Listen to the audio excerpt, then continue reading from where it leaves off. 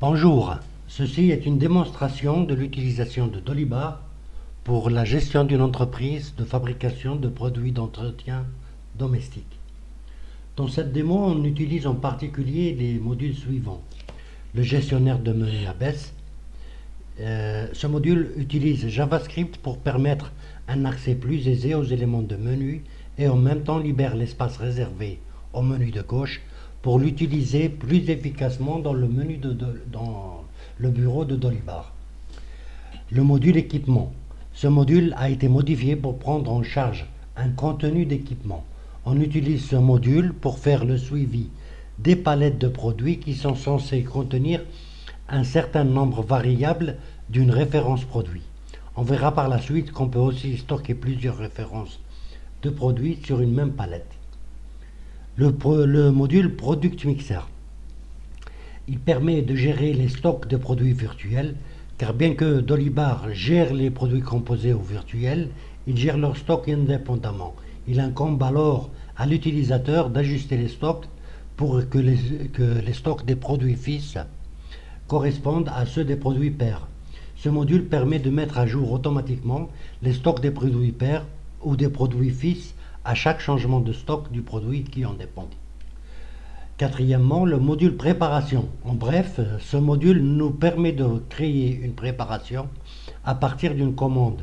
Une préparation est une liste d'éléments composée de une référence produit, une référence entrepôt ou emplacement et finalement une quantité. De plus, si le produit est contenu dans une palette, la palette peut être soit entièrement déstocké si le stock à livrer est égal ou supérieur à son contenu, ou bien elle sera éclatée dans le cas contraire. Une fois toutes les lignes de de la préparation établies par le gestionnaire, celui-ci procédera à sa validation. La validation de la préparation permet ensuite au manutentionnaire équipé d'un PDA et relié par Wi-Fi au serveur d'Olibar de valider chacune des lignes de celle-ci. Une fois toutes les lignes de la préparation validées, celle-ci peut être livrée. La livraison de la préparation crée ensuite l'expédition pour la commande. Cinquièmement, le poste de travail. Le module permet de créer et de gérer les postes de travail et les associer aux OF du module OF d'ATM.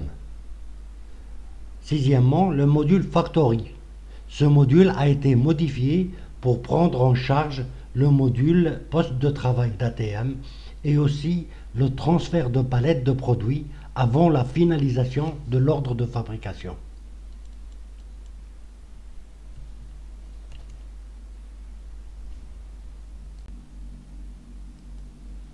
Avant d'aller plus loin, il est important de différencier les différents types de produits manipulables par l'entreprise contenus dans la catégorie test, avec leur statut vente et achat, et citer les classifications de ces produits. Nous avons donc les matières premières en achat seulement,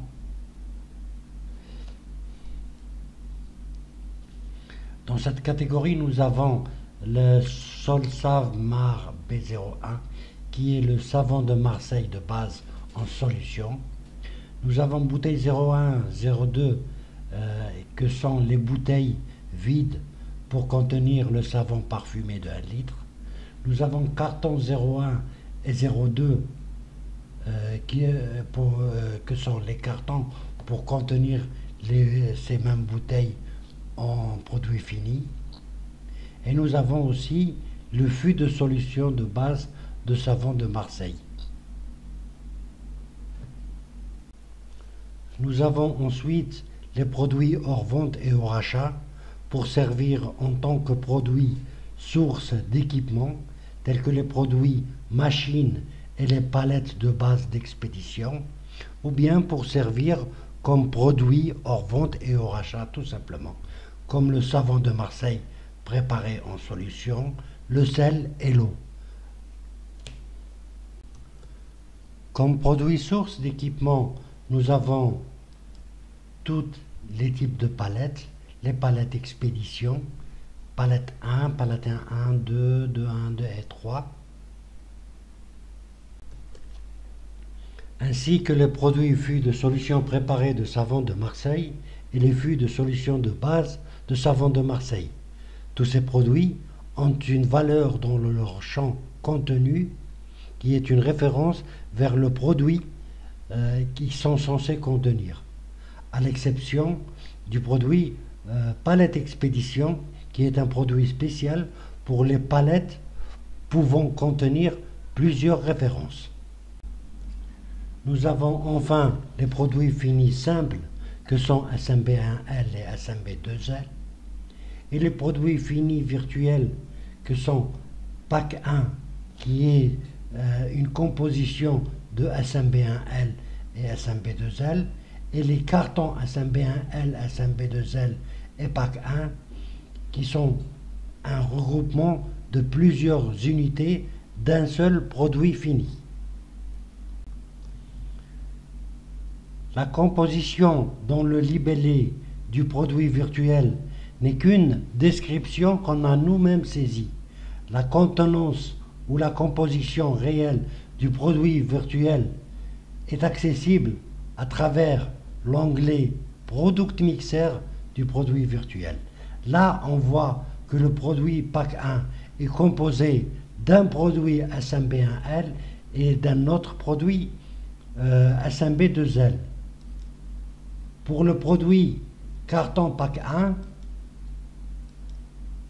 on voit qu'il est composé de 5 produits PAC 1, qui est à son tour composé d'un produit SMB1L et d'un autre produit SMB2L.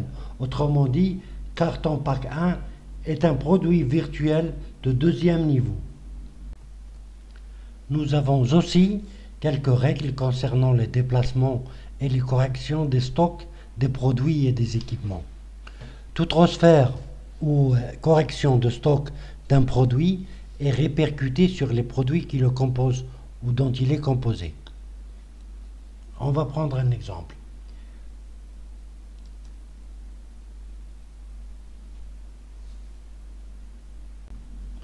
On vient d'ouvrir un onglet stock pour le produit carton pack 1. Ouvrons un, produit, euh, un onglet stock pour chacun des produits qui le composent.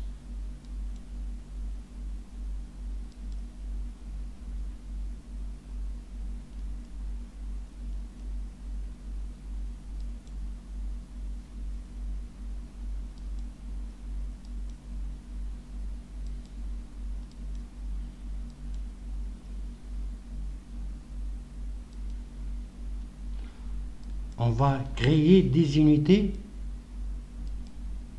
de carton par 1 dans l'entrepôt produit fini. Et on va voir les répercussions sur le produit qui, dont il est composé. On actualise,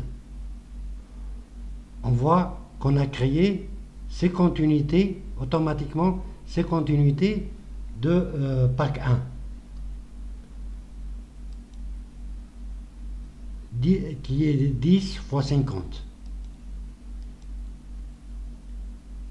Et la même chose pour le, produit SMB1L, ainsi que pour le produit SMB2L. On va maintenant ôter 10 produits SMB2L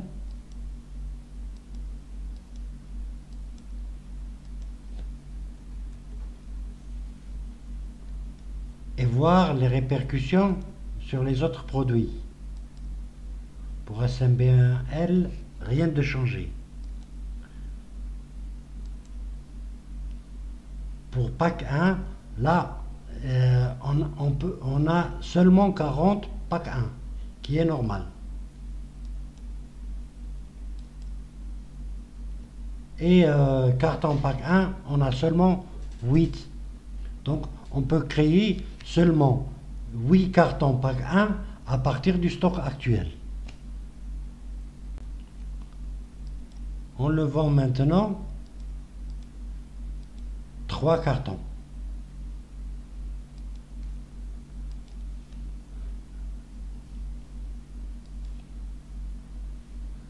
Voyons les répercussions. Ça automatiquement euh, euh, enlevé le nombre de produits nécessaires.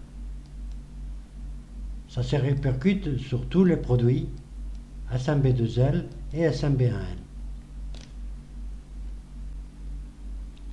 Deuxième règle, toute création ou transfert d'un équipement d'un entrepôt à l'autre s'accompagne de la création ou transfert d'une unité de son produit source. Pour illustrer, créons un équipement. Produit source, palette 1.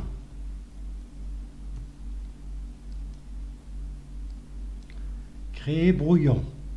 Entrepôt, produit fini. Remarquez que l'option mise à jour des stocks du produit source est activée. Créer brouillon. Consultons maintenant le contenu de l'entrepôt PF. On voit ici un nouvel enregistrement de produit palette 1. Dans l'onglet équipement, on retrouve l'équipement qu'on vient de créer. Nous passons maintenant au reste de la démonstration.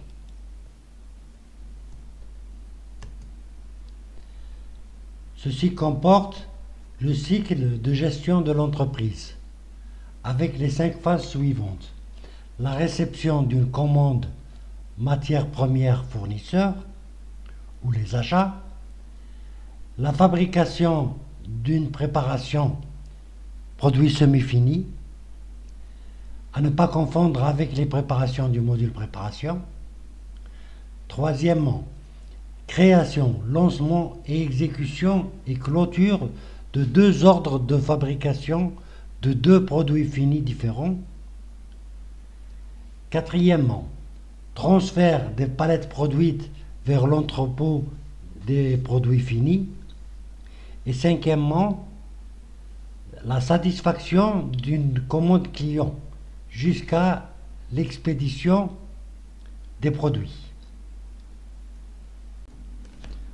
On va donc commencer par la réception d'une commande de matières premières fournisseur.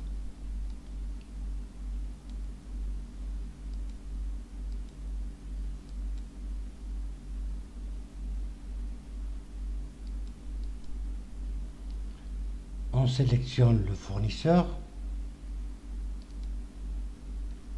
on crée la commande,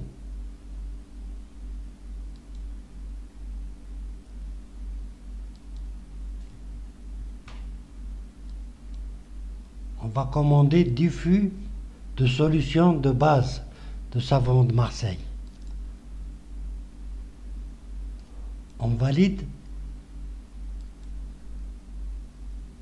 on approuve la commande et on passe la commande.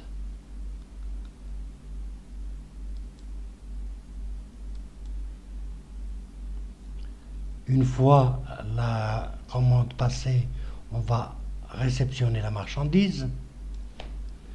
On réceptionne la moitié de la marchandise commandée dans l'entrepôt matière première on ventile et on passe à la création des équipements.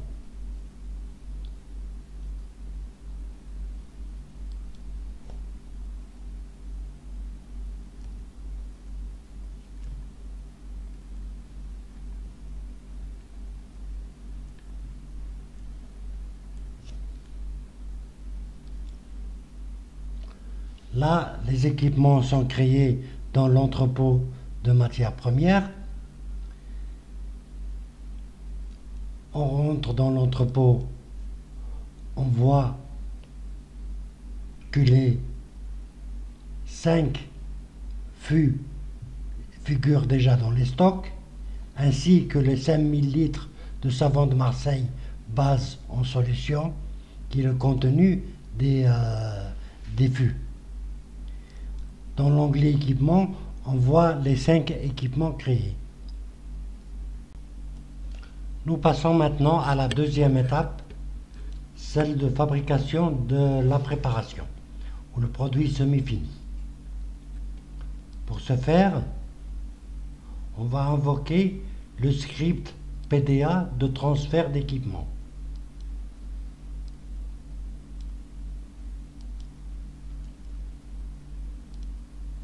On sélectionne l'entrepôt de destination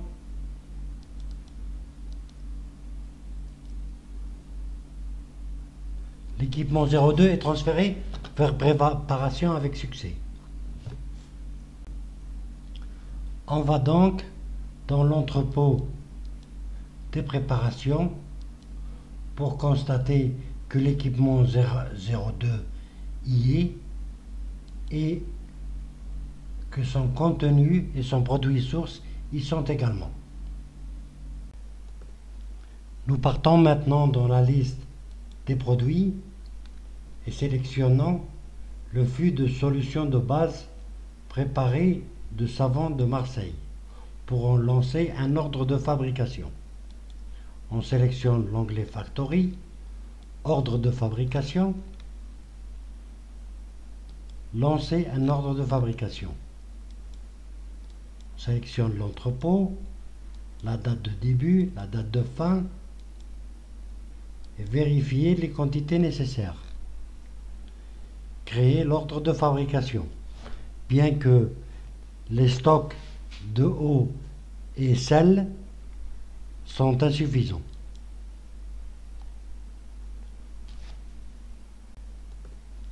Nous partons maintenant dans la liste des produits et sélectionnons le flux de solutions de base préparées de savon de Marseille pour en lancer un ordre de fabrication.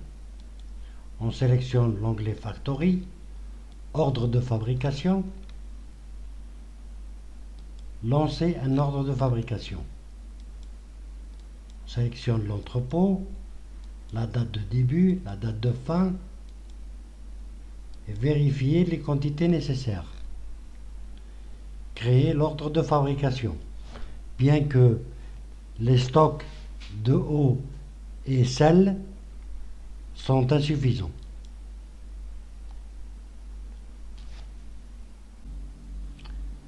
Je sélectionne l'ordre de fabrication, poste de travail, préparation, équipement du fût d'entrée, 2, modifier. Le numéro de sortie indique le même numéro que, le fût d'entrée.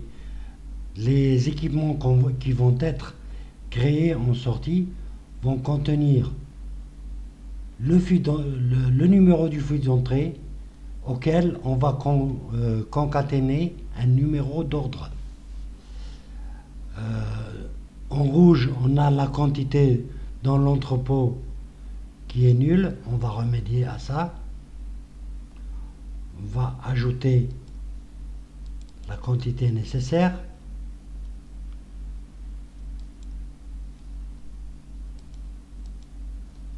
Même chose pour le sel.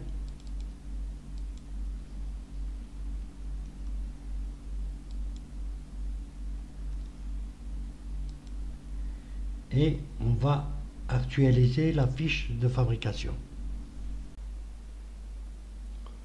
On va maintenant lancer l'ordre de fabrication. La quantité dans l'entrepôt maintenant est nulle car les, euh, les 4000 litres ont été consommés ainsi que pour le sel et on va clore l'ordre de fabrication en cliquant sur le bouton terminer la fabrication. Oui. Maintenant, on va dans l'entrepôt pour consulter les stocks. On a le fût de solution de base de savon de Marseille, les cinq fûts de solutions préparées de savon de Marseille qui ont été euh, préparées ou fabriquées.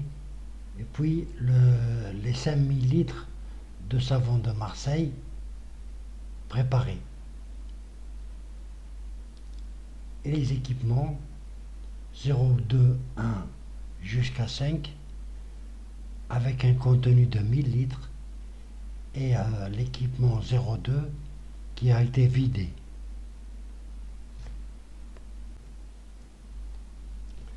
Nous allons maintenant passer à l'étape suivante, celle de la création, lancement, exécution et clôture de deux ordres de fabrication de produits finis. Pour cela, nous allons invoquer le script de transfert d'équipement par PDA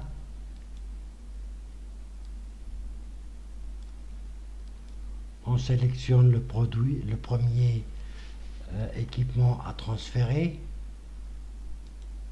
la liste des entrepôts, l'entrepôt de production,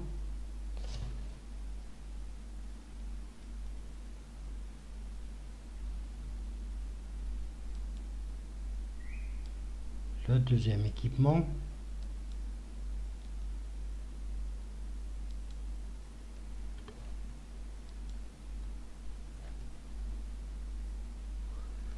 les deux équipements ont été transférés vers l'entrepôt de production. On va dans l'entrepôt de production, on a les deux fûts ainsi que les 2000 litres. Je vais à l'onglet équipement pour voir les deux équipements qui ont été transférés. Je vais maintenant lancer un ordre de fabrication de palette 1.1 à travers l'onglet Factory, ordre de fabrication lancer un nouvel ordre de fabrication, production, maintenant, une journée de plus,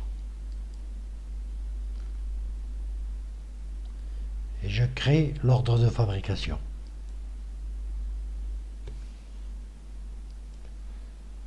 Un deuxième ordre de fabrication de palette de 1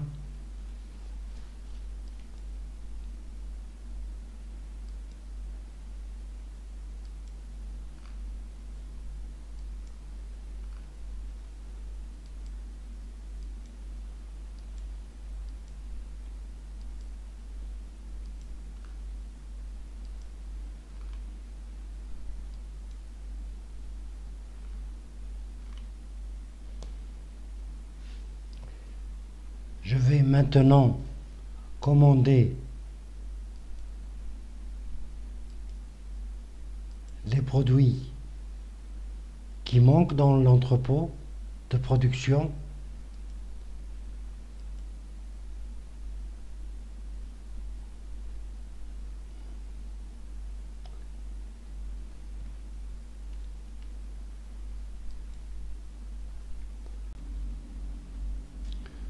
Dans liste des OF, je sélectionne l'action de masse commande et je confirme. L'action s'applique à, tous les, à tous les OF en état brouillon. Une commande est créée avec toutes les matières euh, premières nécessitées par ces OF. Le tiers auquel la commande est destiné est un tiers spécial qu'on a nommé production. Je valide la commande, oui, et je crée l'expédition. Je sélectionne l'entrepôt d'expédition, matière première, créer expédition. et je crée l'expédition, je valide. OK. Une fois l'expédition créée, je vais actualiser les OF. Et je constate que les euh, matières premières nécessitées sont déjà dans l'entrepôt.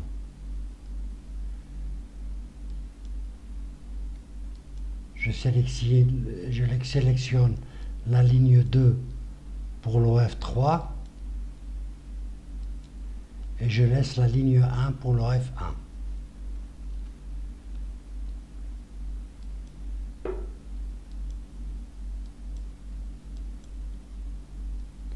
je sélectionne le fût 021 pour l'OF2 et 022 pour l'OF3.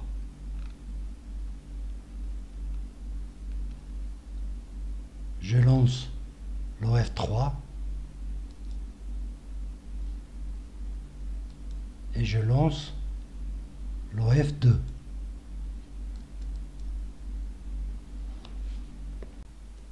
Pour les ordres de fabrication de produits finis, les palettes sont transférées au fur et à mesure de leur euh, remplissage, sans attendre la finalisation de l'ordre de production.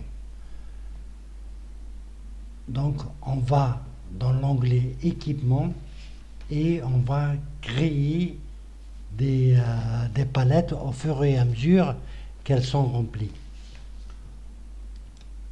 on crée un brouillon de palette, la quantité de 100,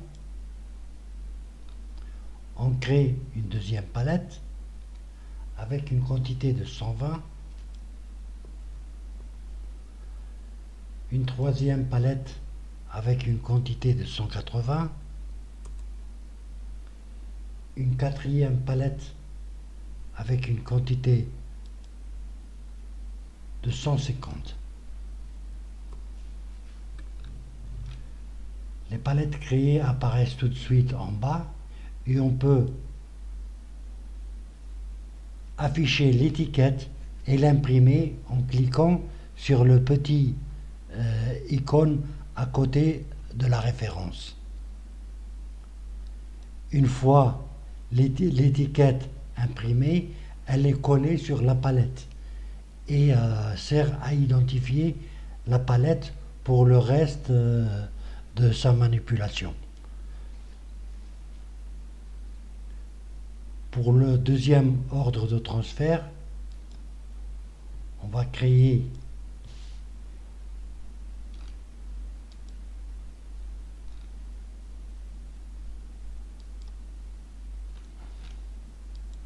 cinq palettes de 50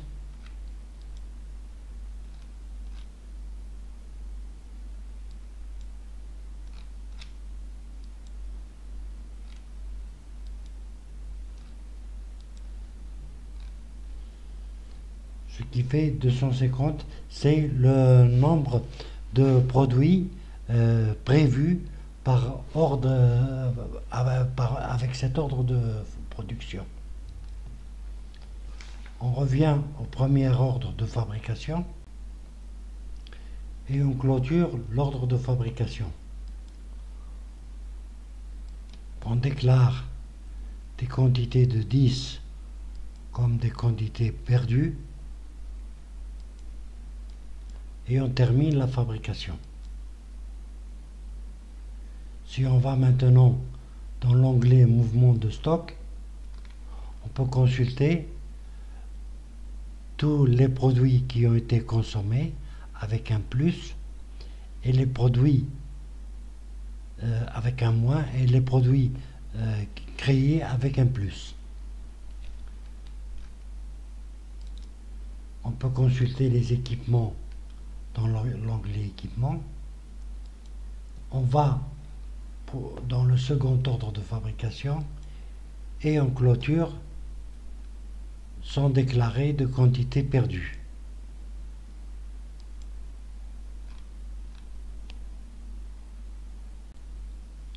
Avec cela, nous avons terminé la deuxième étape. On peut aller dans l'entrepôt de production pour consulter les stocks actuels et dans l'onglet équipement, les palettes qui ont été créées. On passe donc à l'étape suivante qui est celle de transfert des palettes produites vers l'entrepôt de produits finis. Pour cela, on utilise le script de transfert de palettes de PDA et on sélectionne les palettes. Ensuite, l'entrepôt des produits finis.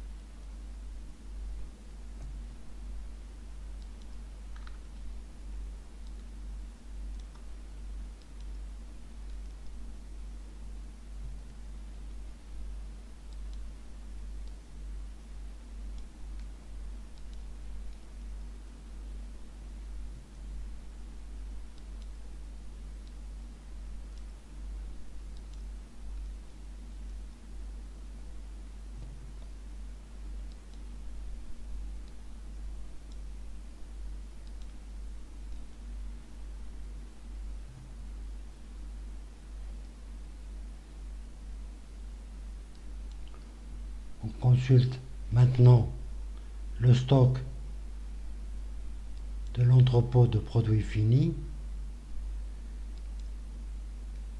et on voit tous les équipements qui qui ont été acheminés.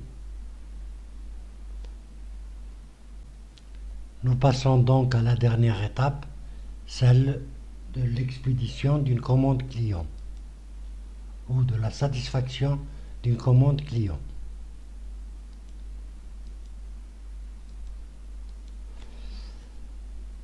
On va consulter la liste de commandes et on va cloner une commande qui a été déjà effectuée auparavant. Cloner. Sélectionner un tiers client 1. Valider. On va cliquer sur le bouton Préparer. Ceci sert à créer une nouvelle préparation. La nouvelle préparation a été créée à travers le contenu des palettes déjà existantes. Pour le premier produit, 01 euh, DB1, nous n'avons rien en stock. Donc l'algorithme passe directement au deuxième produit, SMB2L. Le SMB2L a, euh, a, été commandé avec une quantité de 4500, mais n'a pas, pu être satisfait totalement car euh, on, a, produit que 2500. Euh, pour SMB1L, il a été entièrement satisfait car on, en avait plus que la quantité demandée en stock. Le, produit pack 1 n'a pas pu être satisfait euh, à cause euh, du manque de, du produit SMB2L dont est composé le pack 1.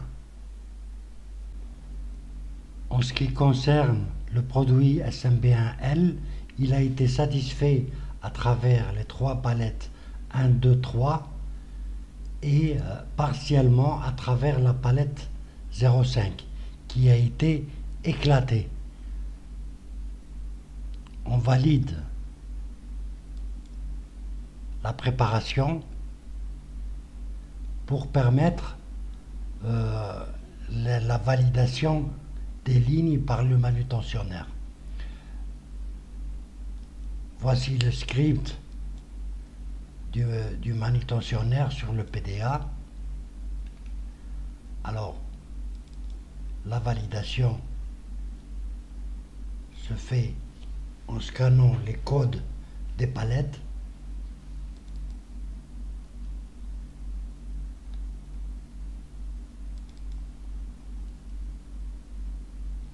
À chaque moment, le gestionnaire peut actualiser la, préparation et voir les euh, palettes qui ont été validées. Il peut palettiser pour euh, euh, faire pousser la ligne validée vers le haut.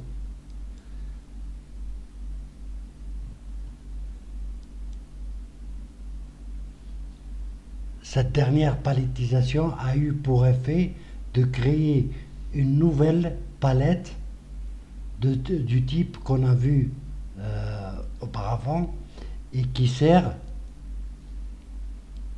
euh, à, charger les produits qui ont été éclatés depuis d'autres palettes. On peut générer l'étiquette à travers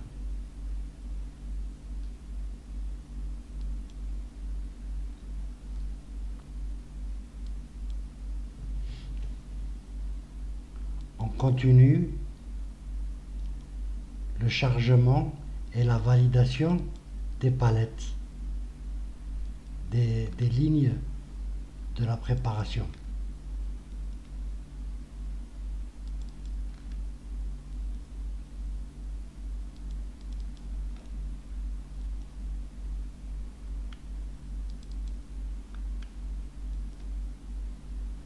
Toutes les lignes ont été validées on a le banc de préparation prêt pour livraison. On revient à la préparation et là, le, nouveau, le bouton expédier est disponible et, et on crée l'expédition.